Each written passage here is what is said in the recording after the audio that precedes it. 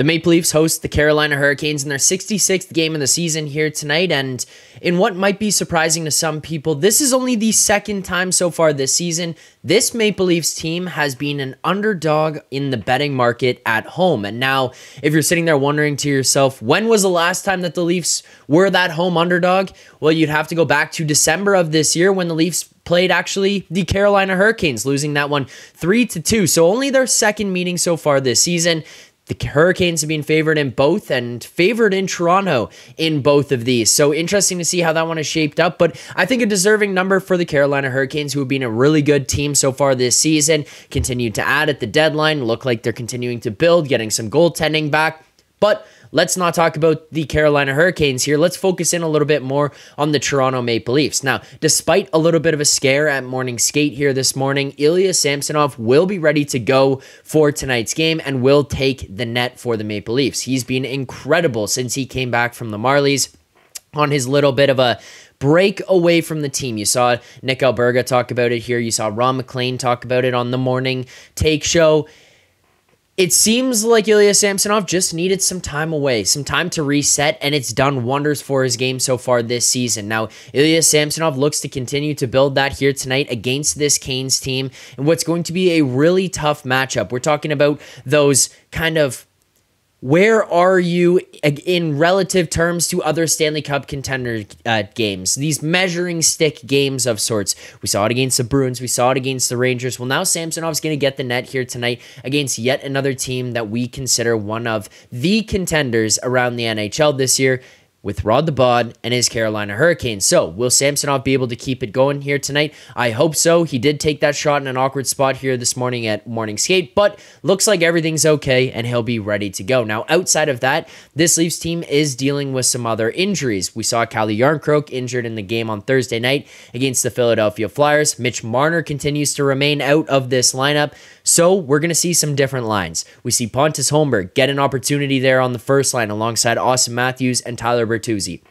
Matthews obviously scores his 55th goal on Thursday night against the Flyers. Tyler Bertuzzi gets on the board there again with another point. He obviously had the one taken away where he had one of the most incredible tips I've probably ever seen. We were looking at what might be another Tyler Bertuzzi game, but obviously has that one removed. But Bert has been on a heater here now and did get the goal from assisted from Auston Matthews earlier in that Flyers game. So those two continuing to build chemistry. We'll see what Pontus Holmberg is able to do in his opportunity up there on that first line. Now, some of the other shakeups that we see. John Tavares slots down to the third line center role here yet again. He's going to be centering Matthew Knies and Nick Robertson, who, as we saw Jay and we saw Nick talk about on that morning show yet again, this could be the opportunity Nick Robertson needs to come in here and seize that NHL spot. Jarnkrok goes down, and obviously, when he comes back, he's going to get priority, not just because of his seniority, but because how well he's playing before. And on top of that, the fact that Sheldon Keefe just absolutely loves the guy. But that being said, this could be an opportunity for Nick Robertson to showcase his skills, showcase the fact that he deserves to be an NHL player. And if he's going to be playing alongside John Tavares, it might help him kind of format and mix into that role a little bit better where you're going to be looking at him not as much in saying, oh, well, he doesn't fit in your bottom six. Because if you're playing with Matthew Knies and John Tavares, guess what?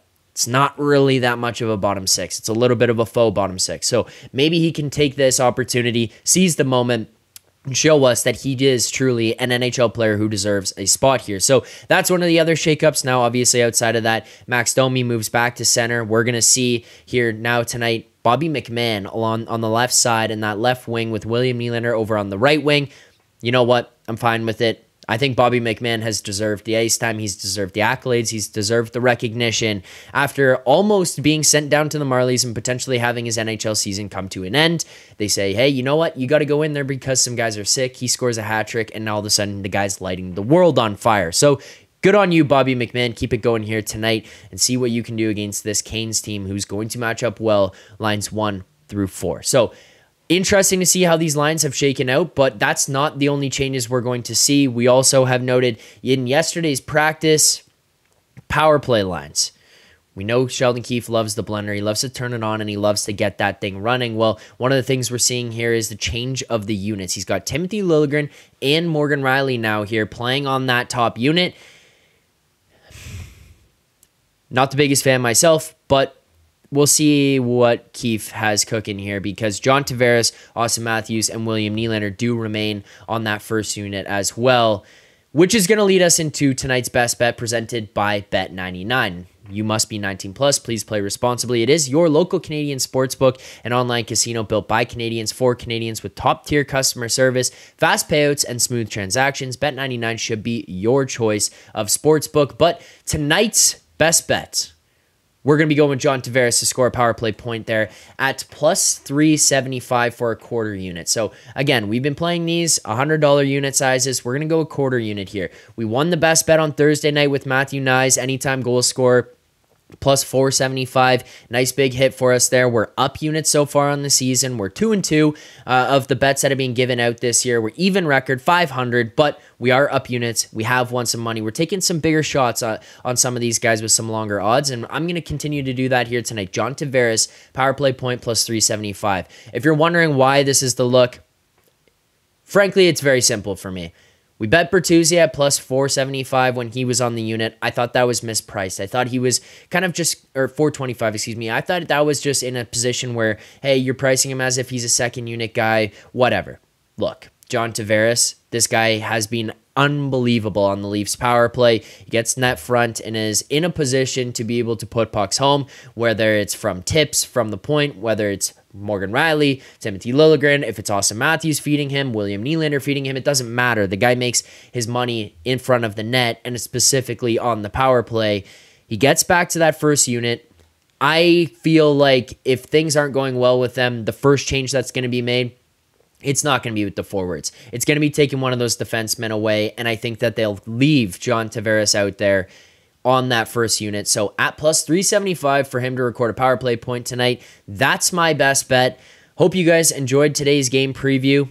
Enjoy the game tonight. We'll see you right here after the final buzzer for Leafs Nation After Dark.